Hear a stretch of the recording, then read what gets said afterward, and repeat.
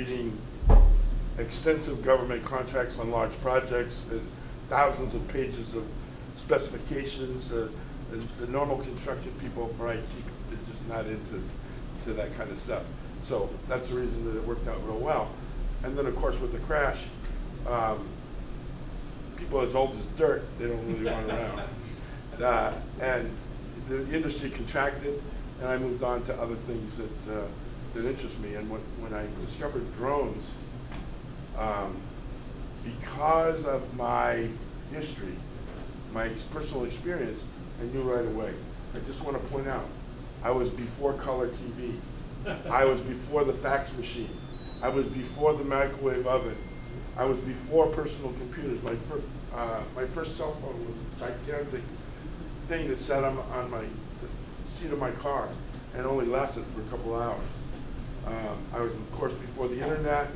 it Was before RC aircraft. I was before cassette tapes. Uh, Don't say interesting. yeah, yeah, uh, any kind, even audio.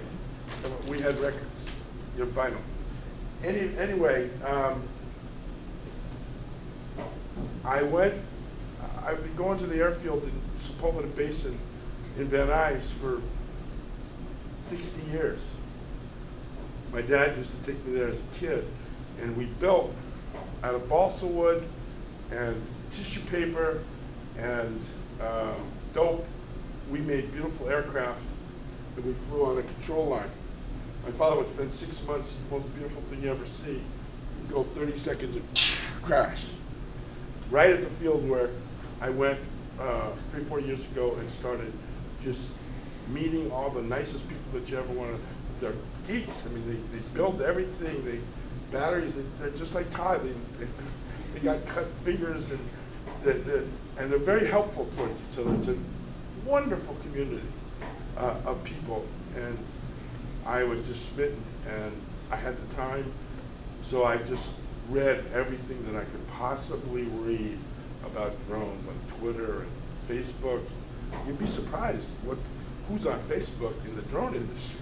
I mean, we got the top attorneys in the country, people that have retired, professors that in New York that have females, as a matter of fact, that, that worked as regional counsel for the FAA for, for 35 years. We've got offices of the FAA that are there. I mean, the resources online are just, what a blessing.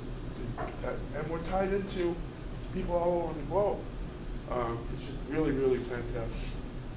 Um, all of this hardware stuff, nice, but it's going to go away. It's all about the actionable data. We, we know that. Um, 99 and 9 tenths percent of everybody out there that's flying these things, they're flying what I call guerrilla.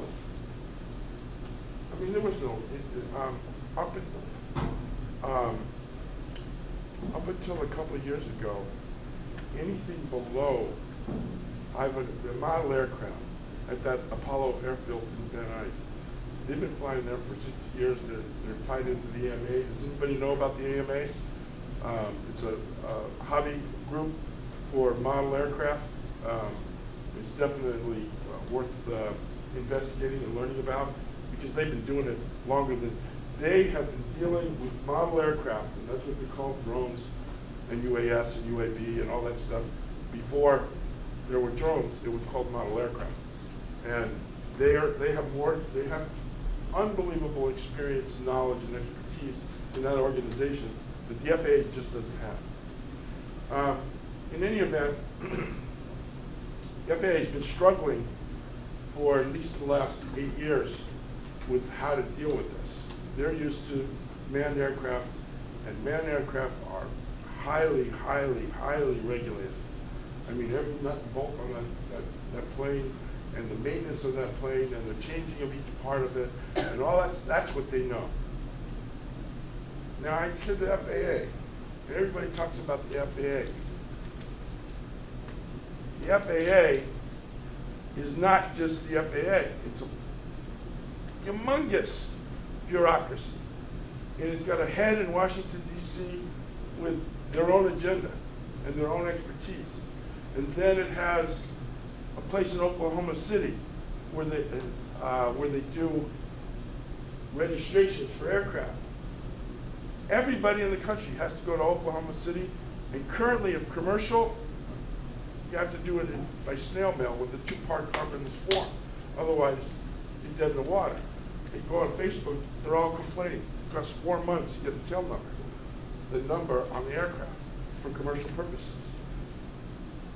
I light challenges, and uh, last April I registered 10 with, the, with them. I was on the get up on the Here. phone. They told me, Can I pass this around? Yeah, sure. This is, this is how behind bureaucracy is in the federal government. That's That a form- that's a Paper form. form to fill out for every like aircraft. snail mail, snail mail to and from, no, no nothing, no. Notarized. And, uh, and I went to the, the FAA has another regional offices all over the country called the FSDO. Um, a lot of acronyms in this in this business, uh, as in any law, science, and acronyms. Um, they are not in tune with Washington. They are not in tune with Oklahoma City. They just say, "You want to register an aircraft? whether it's a drone or whether it's a Boeing 747, the process is exactly the same. The paperwork is exactly the same. And you have to deal with Oklahoma City, and they give you a phone number at the FSDO, and they say, get up and call them only when they first open, because you're only going to get them in that first hour. Was, in the beginning, I was on the phone with them constantly.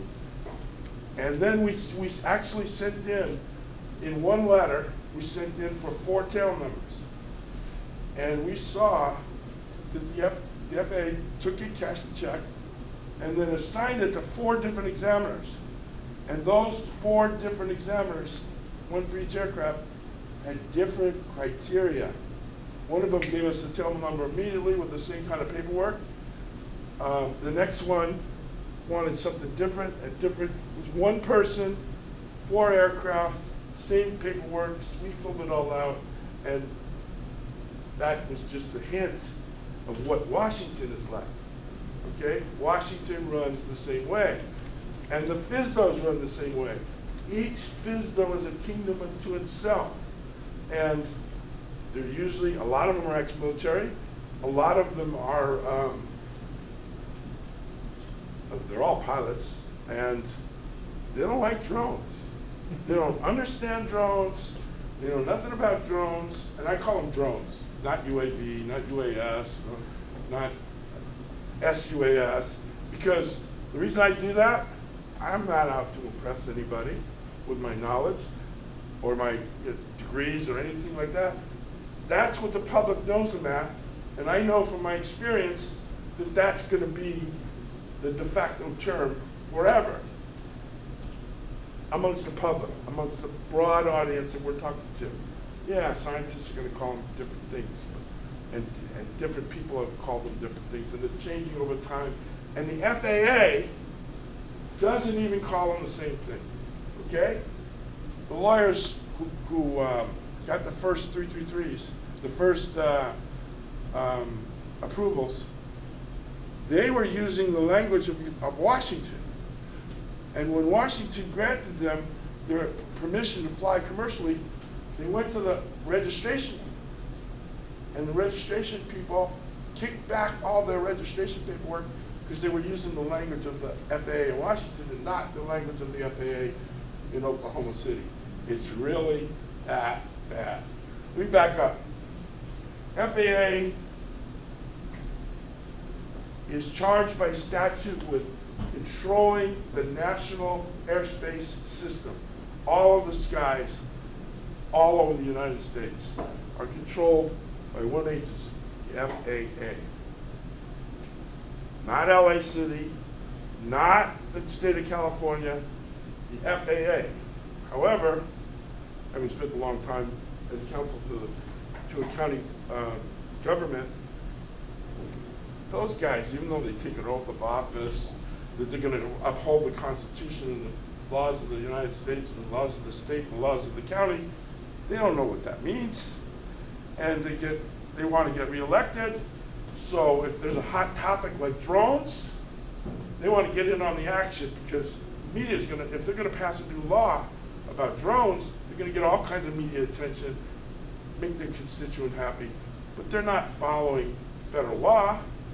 or the supremacy clause of, or the preemption of, of federal statutes. They're just doing their little thing. And the way the law works, of course, they enact the law, the executive signs it in. Now the people in that county think that it's the law. Actually, it's not.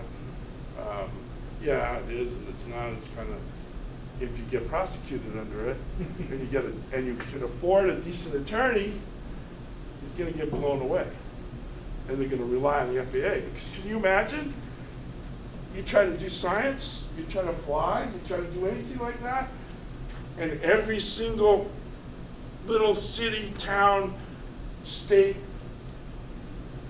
park jurisdiction has different flying rules. Well, FAA is, applying the same principles, and the federal government is applying the same principles as manned aircraft. And they're very important to our economy and interstate commerce and international commerce. It has to be controlled by one source, the FAA. The city of LA hasn't figured that out. So what's, what do you think the solution is to that? They said they're just- drones are no different than anything else. This has always been the case. It's how our democracy works. And that's what the courts are for. That's why we have three branches of government. And the solution, really, off the record, 99% of everybody is flying quote unquote gorilla. And anybody that I've ever dealt with on drones, I say, like, listen to Todd. Todd is, he's, he's the guru. Dan and Todd, they, they're unbelievable. You gotta fly safe. You don't wanna burn yourself, you don't wanna cut your fingers off and that comes up. That's really important, the safety part of it. Major important. He's, through experience, the guys that are doing this for the last five years, they know, they know better than the FAA. The FAA is not safe. And, and we can get into that sometime, but they're not safe. They don't know. The first, the first thing they should be doing, which they're not doing at all, as of today, there is no place in the country except maybe one university that the FAA has partnered with that, that is authorized to teach any kind of flight training for, F- for, for drones. When you, when you say authorized, what do you mean?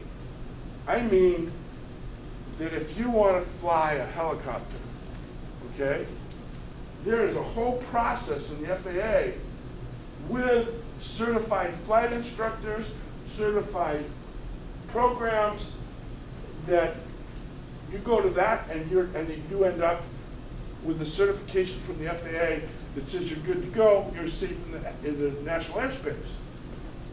They don't have any kind of training for drones authorized by the FAA. Well, That, that, no, no. just say no. a distinction between, because they're training for full-size, and we're t- still talking fifty-five pound. Yeah, well, this is, everything I'm talking about is under fifty-five pounds. We're not talking about more than fifty-five pounds. Uh, that gets into a whole nother thing. It's hard enough to understand under fifty-five pounds and over fifty-five pounds. We're talking unmanned aerial vehicles, systems that, um,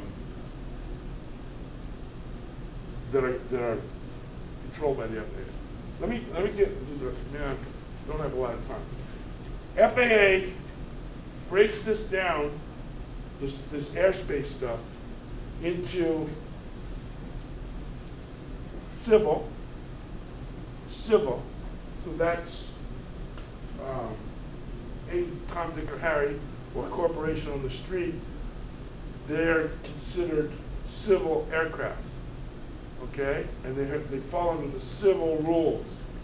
Then the FAA does something that I think is stupid, but they go all the way back to England, and the ships that went across the sea, and the captains of those ships, and they say, that commerce, he's responsible for his, his, his cargo, his crew, and his passengers, and we have to regulate him differently than somebody that's out for a, an afternoon sail, just for fun.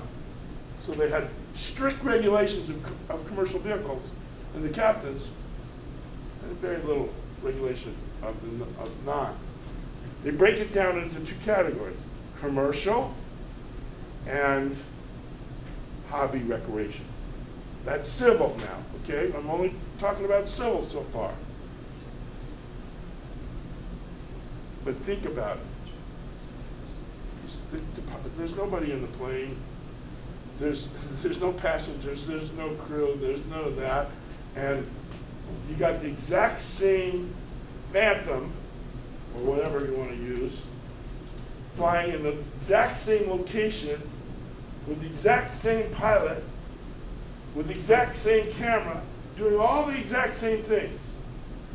But we're going to regulate this guy who's going to sell his picture completely different than we're going to regulate this guy who's not going to sell his picture. It's just taking it for himself.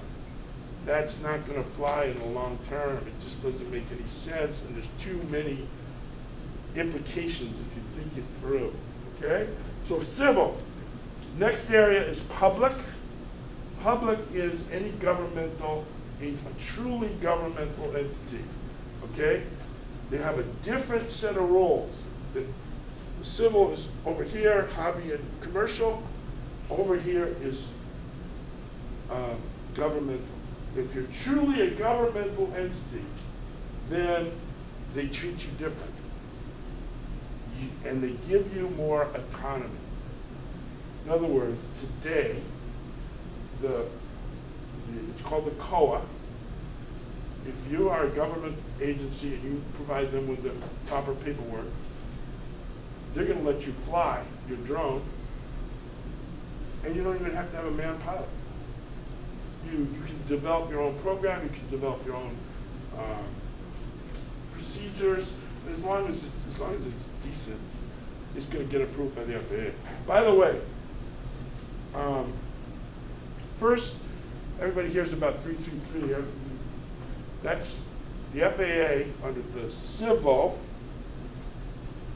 If you want to fly commercially, you just did it, okay? Until September 2014, it came through, a bunch of, peop- bunch of Hollywood people went to a top-notch law firm. They spent about a half a million dollars, according to them, to get permission to fly on Hollywood sets, take pictures with drones. Um, they blazed the trail, the first seven. Um, they only got permission for one drone on one Hollywood shoot. And they all ran back to the FAA as soon as, as soon as they got that approval, and they started getting more approvals. And they've been chipping away at the FAA because the, the rules are very restrictive. For example, they can't fly them at night.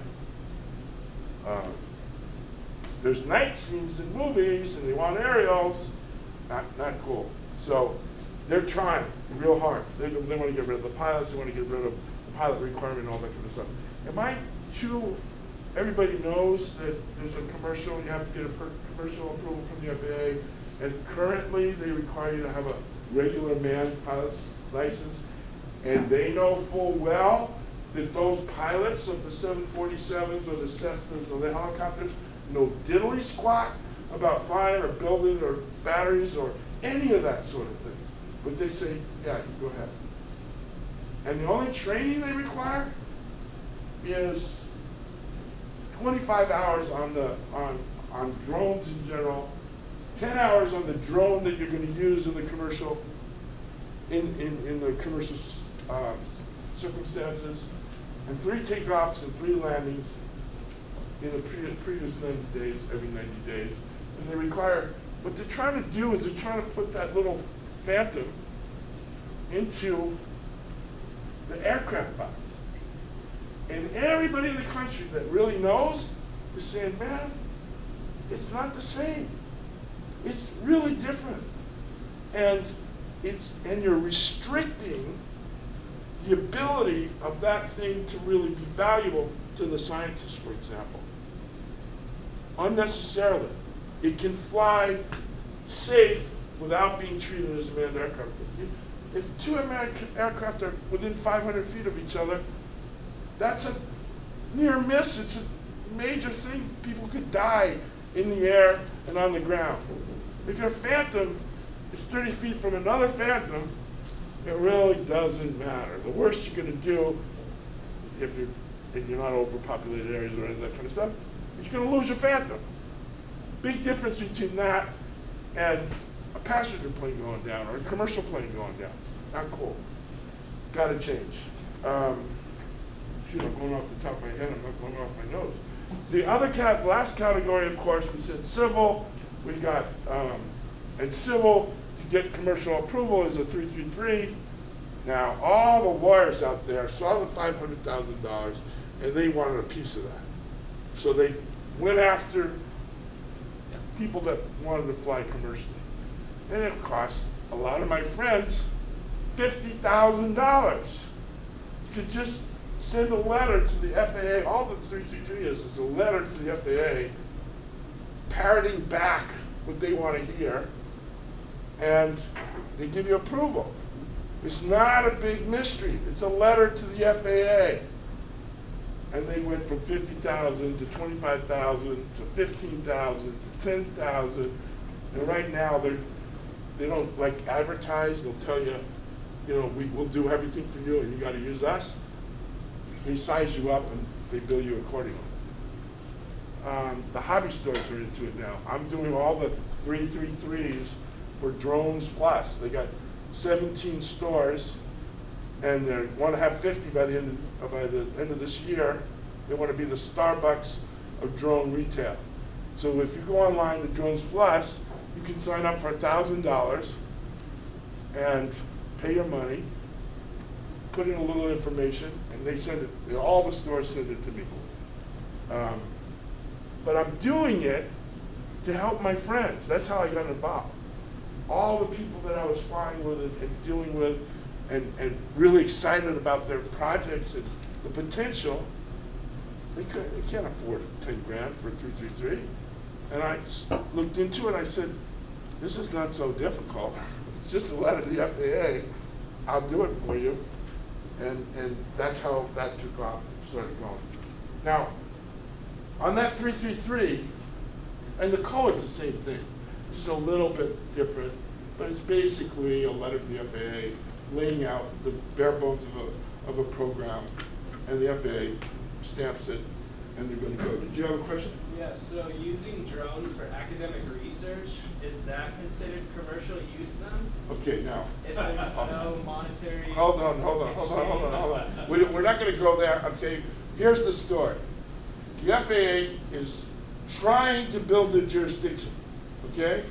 There's approximately ninety thousand aircraft on any given day, manned aircraft, in the NAS in the United States. The FAA said publicly, we expect a million drones just for Christmas. Okay? So you're going, think of the budget, think of the jurisdiction, think of how big our agency, that's what government agencies do. They grow their, their empire, and, and this is a perfect opportunity to do that. They're taking a very restrictive position on any kind of, uh, uh, flying. It is, the, it's determinative state of mind of the pilot. If the pilot is gonna go up and take pictures or get data for his personal use and satisfaction, and it's not connected in any way, shape, or form with money, he's cool, he's good to go. But even if he's just posting on YouTube and getting goodwill for his business, they consider it to be commercial. They're really, really strict on that. However, the good news is, as of May of last year, they changed. They were going around searching YouTube. They were going around looking for, for trouble. And they were calling up people and leaving messages on the answering machine. This is the locals, the FSDOs, and the uh, safety, safety inspectors. They were calling them up saying, man, you better take down your website. The public went nuts. I mean, the public that's involved with drones went nuts. The lawyers went nuts. The First Amendment people went nuts. And Washington sent, it's online, you got 8,500 pages online. I probably read them all. I'm that kind of guy. they sent, and they issue more every day, and it's very confusing. And they tell their people, don't print this. it's it's a excessive. Do not print the eight thousand. Some of some of the safety inspectors were printing out the stuff. Um, I lost my train of thought on that. Um, the, oh, oh, uh, Washington, Washington sent, sent memo to all officials in the whole country and said, look, you will not harass these guys. We are not the, the drones police. We are the drones educator and the drone, and the safety people. And your mission is to educate. And here's the only letter that you can send to those people, and you can only send a letter to those people. And you can't change anything in the letter except to put their name and date on it. So they crank, cut that all down. Now, what's the rule for that? It's really a little crazy. It is perfect, you're allowed to be a hobbyist. And the, the, the hobbyists, they, they, the FAA and the media puts out a lot of misinformation.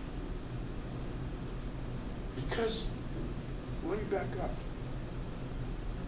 This is a rulemaking agency.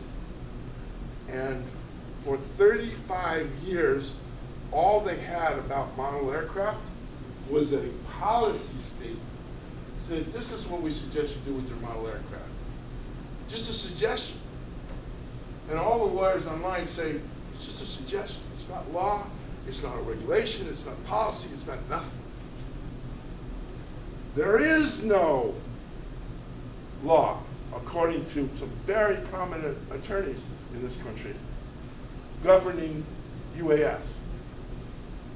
And Congress in 2012, in the um, FAA Modernization and Reform Act of 2012, told the FAA, we want you, we don't want America to be behind England and Africa and China and Japan. We want to be America.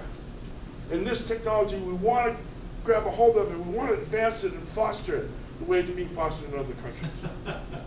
Okay? The FAA, like, Supposedly. they, they, they, they didn't, they didn't, they didn't go for that, okay? And they gave them, said, do it as fast as possible, and do it for commercial, and do it for public. By the way, the third category is military, we really don't need to deal with that, okay? Uh, they do it pretty much what they want, they don't follow any rules, except their own rules. That's, those are the two categories. So, they had, the Congress gave, gave them a strict deadline. FAA, you will have all this in place by by the end of September, two thousand and fifteen. Came and went. What the FAA did do is in February of two thousand and fifteen, there's this, just to back up, it's simple, okay? These federal agencies can't just do whatever they want, whenever they want. It's called due process, it's a constitutional right that the public has, there's democracy, they gotta follow the rules, due process is important. There's substantive law, it's not a big deal, it's not complicated, don't glaze over. They wanna regulate you, okay? Todd has been flying for years, he's flying for money. And it's fine, it's okay, no problem. Well, if the FAA wants to step in and now regulate his pocketbook, they're supposed to give notice and an opportunity to be heard and make a decision based on a rational basis. They're not supposed to just say, we're changing our policy. So they've been changing their internal policy, but they haven't been passing any regulations for UAS. Not at all. Except they promulgated in, in February 2014 they, they promulgated a regulation and formally, in accordance with the Federal Administrative Procedure Act, we did it right. And supposedly, we are going to have our first regulation, formal regulation from the FAA. It will only deal with commercial use under 55 pounds. Um, sometime between, according to the FAA, March 21st to the end of June. They say we're going to have it. and I can go, we can do a whole nother class on what. what- Probably not. On what it's gonna say, okay? But anyway, um, oh, the ma- Office of Managing Budget says, no, no, they're all right. Our audit says it's gonna be, um, December or Years. January, or Years. January of next year, okay? But I'm, I've been studying that too, and I think I, can- I got a ways around. Anyway, um, Professor here was very interested in these prosecutions. Everybody's scared of the FAA. This is a federal government and they're claiming major criminal and civil fines. Now, if you study this the way I studied it, this is an orche- this is all an orchestrated campaign to increase their budget and their power. All this stuff, 99% of the stuff that you're hearing in the news, that's the pilots union who has opposed every single application for commercial use of a drone. They automatically put in 10 pages of opposition, saying we don't want drones, you should approve them. Duh, duh, duh, duh, duh." Well, the FAA had to put that aside because they're too valuable. They're way too valuable, drones are, and the, and the data that they're able to capture. That's already been proven, and um, so now the pilots got together with the FAA, and they, uh, they said, send us complaints. You see a drone, you, it's a near miss, and we're gonna put it in our records. So that we can then use it against every, the public and all the local law, the Congress and the le- legislature, all that, so we can regulate, okay? That's what's going on. They got together with the Forest Service, those, you know, the firefighters is one of the big deals. Okay, drones are, you, you fly, we can't fly. Well, what really happened, if you go dig in there and look, the FAA, the Forest Service, and the pilots union got together and they talked it all up and they prepared it all for the fire season and they even created big, beautiful posters Before the sun. before, before the problem. And then, when they were ready to roll it out, they went to all the news media outlets and they said, we saw a drone. And if, and we, and we had to land the aircraft. And that's, that reverberated around the globe. And the common guy in the street believes that that really happened. No, it was a setup. It was, it was, it, the reason it was a setup is because the hobby people can pretty much do what they want. They only have one rule. And it's not even a rule, it's a policy. And it's really the common law. You can't fly reckless. You gotta listen to Todd and do it his way, and you're good to go. You can go over 400 feet. You can go at night. You can go, and you only have to notify the tower. Its rules are really clear. That's causing a lot of problems for the FAA because they're saying to the commercial people, the responsible people, the people that have invested lots of money and expertise, the universities, that, that sort of thing, commercial universities, not public. They're restricting them so much that they can't compete with the hobbyists. Not acceptable. I mean, that, that can't last. Okay? In the meantime, the public is learning about drones, and they're like cell phones, they're like computers, they're like the internet. There- There's going to be a drone tsunami, and because they can help everybody. You, we haven't even thought of the things that when, when we had the cell phone, you could make a phone call from your car. That was cool. Okay, we didn't think about we couldn't think about all the things that were going to happen that's really good. So that's that's what that to me it's a no-brainer. The tsunami is is there, and the tipping point has already been reached, and we can help that to happen by following what Todd said and advocate for the technology and show them that, it, you know a GoPro camera at 100 feet can't even make out who you are, let alone spy on you. And if it's hovering overhead, the pilot's trying to get his, his bearings or adjust his camera so he can take the sunset. You know, it's, it's not about you, okay? And, and yeah, we pay some lip service to privacy, but between your open Wi-Fi and cameras at every every place you go outside, it's not gonna happen with, it's, the drones are not the privacy problem that people think they might be. Um, I'm involved with companies that are, are flying on a regular basis for Hollywood. They're flying on a regular basis for, uh, all across the country, all across the world. They call me from Africa. They call me from New York. They call me from. I'm, I'm tied into, as a result of helping people out. People are reading my petitions on the FAA site, and they they send me my emails there, my phone number's there, the petition, so they get in touch with me. Help me!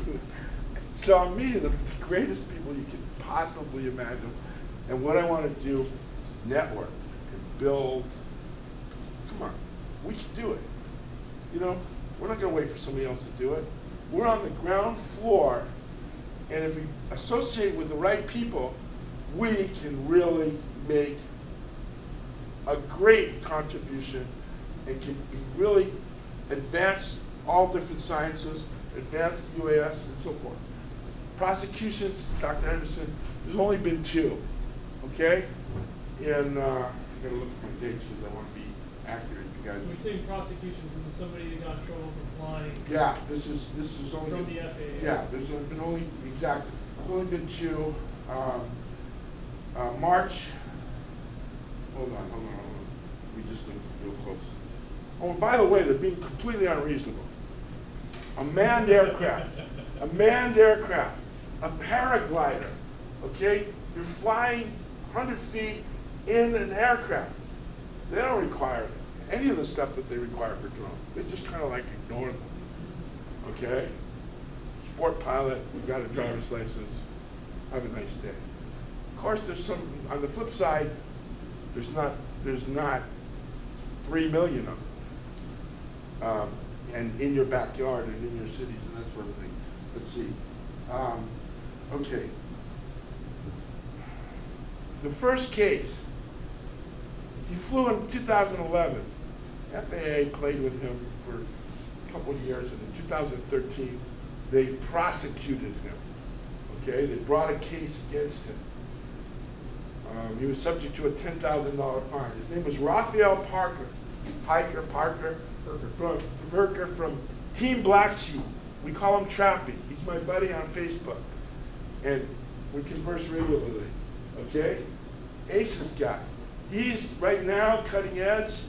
He's developing the hardware to be able to fly 25 miles from here with a drone. Um, so they prosecuted him, and there was an attorney on the East Coast. His name was Brendan Schulman. This was New York, right? Was this in New York? Uh, no, the, the, the, the incident was at Virginia Tech. Oh, Virginia Tech, right, right, right. Uh, yeah, the incident, he flew a fixed wing through the campus. This guy is an ace pilot. Okay, he's flown since he was in the womb. and, and he, but people never saw that. So some of them got a little worried. And the FAA said, this is, this is totally off the charts. And he's flying this kind of thing, okay? Smaller than that, I think. Styrofoam, come on. You know, I go online, you'll see people, those bouncing off people's heads. And all it does is put a little dent in the styrofoam. Anyway, Brendan Schulman did a really good job. He went before the administrative judge, and the administrative, judge said to the FAA, "You gotta be joking! This is not an aircraft. This, this is this is some toy. Get out of my court and get lost." And the FAA freaked. Oh no! We have no control over these dangerous aircraft all these millions of things that are going to be flying in our NAS, we don't have any control, according to this judge. They're just toys. So they immediately appealed to the NTSB. I guarantee you they were talking, that the whole building was shaking as a result of, of that decision. And of course, the NTSB said, yes, they are aircraft. An aircraft is any device used for flight in the air from the ground to the moon, infinity. And the FAA's got jurisdiction. So NTSB sends it back in a normal trial type situation. Now we're gonna decide whether he's reckless. Because all we decided was it wasn't an aircraft, now it is an aircraft, so now we can talk about recklessness. He spent over a year with an attorney, um, and he really wanted to, what everybody wanted to win was, it's not an aircraft, or it is an aircraft. That was decided, so they settled the case for eleven hundred bucks. And the, um, no admission of any wrongdoing. He's a, he's a celeb, a global celebrity, Par- Parker completely clean record, and the FAA just moved on, okay? Um, there's been a bunch of educational letters prior to May. I haven't seen any since last summer. And normally when, when the guys get them, they post them online and everybody shares them around. So certainly in the circles that I'm in. I haven't seen any educational letters. Instead, we had the pilots making the complaints and they turned their attention to hobby registration of pilots, not aircraft. So in September, they took all their data, all these are so dangerous, and we gotta, we gotta register them. That was all, in my opinion, a subterfuge.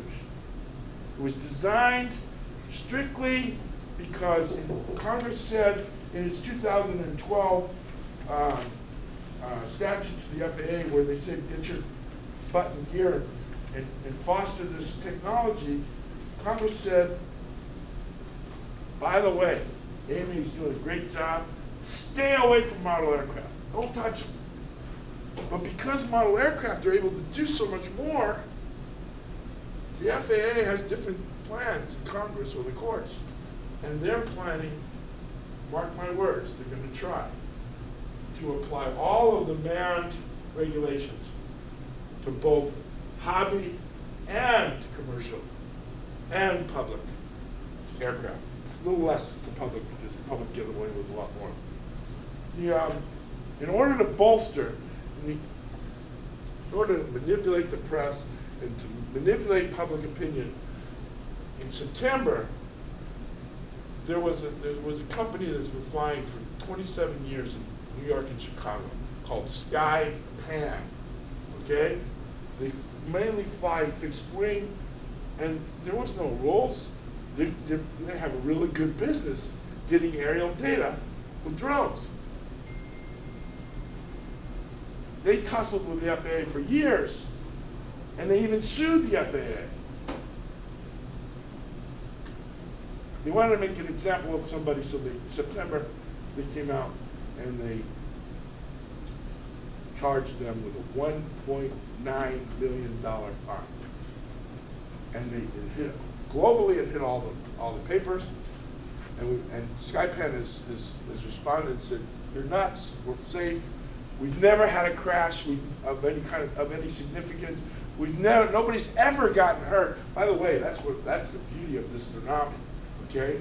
DJI, Yuneec, um, 3DR, they're telling everybody, they fly out of the box. Just, just charge the battery, fly, okay? A lot of people are doing that. And the truth is, there's very little damage. There's been no deaths.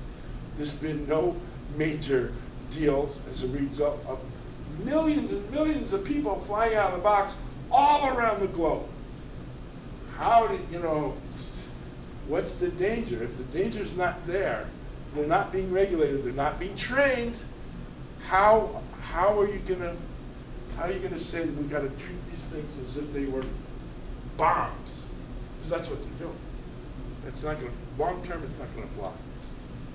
Um, so that case is pending, and then we got all around the country. We got you know conflict, ma- mainly between pilots who don't understand the technology and don't want the, and are used to flying wherever they, they fly and nobody's there except these gigantic other planes and, and they don't have to worry, especially police helicopters and sheriff's helicopters. They own the freaking sky. Um, now all of a sudden, there's drones. Even if the drones are flying below 200 feet, they they don't like it. They see a drone, they see a party balloon. Uh, They see birds and party balloons all the time, and they can barely make them out because they're conditions and they're flying fast and all that. They've done studies. They can't make them out. But the report says near miss with a drone. And if it goes, oh great, we got 600 of these this year. More, please. It's all going to blow up in the face because the truth always comes out in the wash. These things are pretty safe, especially if you follow Todd's and Daniel's advice. One, one note to that, so that all this stuff came out real quick about all these near misses and whatever. Somebody started looking into it more, and they started looking at where these occurred, and some of these, and some of these were at like twenty thousand feet or something, which there's no way any of our equipment could ever get to that level. So it obviously showed you that either a one person was making it up, or b they're not educated enough to understand the technology and what the capabilities are. Because it's just not going to happen. I, I, I over exaggerated that that footage or whatever, but it was some ridiculously high. And uh, and but they were the the FAA and everybody was using this as, as a way to say, look at all these near misses. But if you actually looked into the data, they weren't necessarily all near misses. So I'm not saying one way or another. I'm just giving you the information. For sick, you're absolutely right. Um, and forensics have shown actual blood and DNA from the bird that, the, that caused the damage in the plane. Dan can send, give you lots of pictures of damaged aircraft. The biggest problem they got up there, especially small craft, and we know from the New York City landing on the Hudson, birds. FAA hasn't figured out what to do with that. in, in, in any event, um, uh, this is, uh, I want to empower everybody, okay, especially researchers. And I have a selfish motive. The selfish motive is I get it, actionable data. Return on investment. I have seen actual cases where the drone has come in to an industry and it has saved the, the client millions of dollars. And it has made the operation so much more safe. Um, and they're getting as good, as good or better data um, as a result of the drone technology. Everybody and his brother wants to go to Hollywood, movies, and they want to go to do real estate shoots, that kind of stuff. I want conservation. I want uh, industrial inspections. I want to really create and, and master the actionable data, low hanging fruit. One of my ideas, I met, I go to these shows, like expos around and so forth. I met surveyors, LiDAR people, that kind of stuff. Whoa! That is really, really, I mean, that excites me. And it, it's, it's the potential when you put, when you, when you marry it to uh, the data to CAD and, um, and BIM and the Internet of Things and analytics, man, I can see it clear as a bell. And the clients, going to do good for mankind. This, this, this, this instrument is going to do a lot of good, and I want to be in on that action. So that's why I met this great guy. He invited me over. Sorry if I was a little disjointed. That was good. But any, I, I- my, he'll, he'll pass around my contact information. I'm actually 24/7 drone.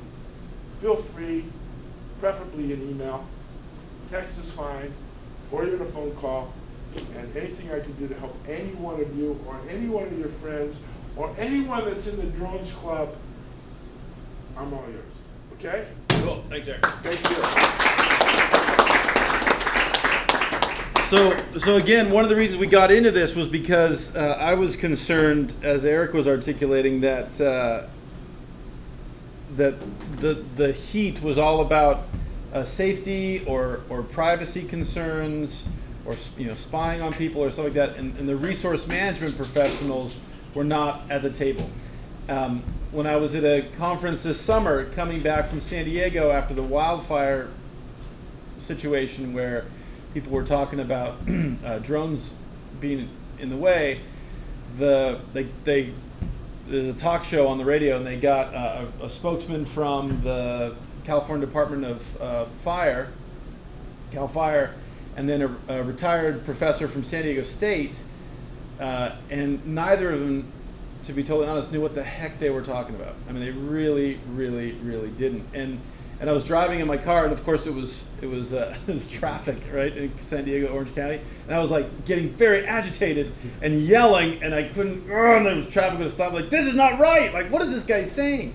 So um, so we entered it down. We started going down this path several years ago because we were worried that you guys wouldn't have access to this technology and also that you guys wouldn't have an opportunity to learn how to safely and professionally use this technology and you'd have to go do this guerrilla stuff everywhere and so even though it's been a, a challenge to get this stuff uh, going over the last couple years um, we think it's the right thing to do and the responsible thing so even though the faa has their rules and this and that and we have to partner with noaa or go fly on the navy base or, or all these, these tricks that we've had to do over the last couple years um, ultimately I would suggest that it's irresponsible for us to not be involved in training uh, you guys this way, even though some of the lawyers freak out and say the FAA said this or that. Um, just like uh, Erick was mentioning with cell phones and this other technology, it, it's already out. It's out in the wild, right? And it's running around.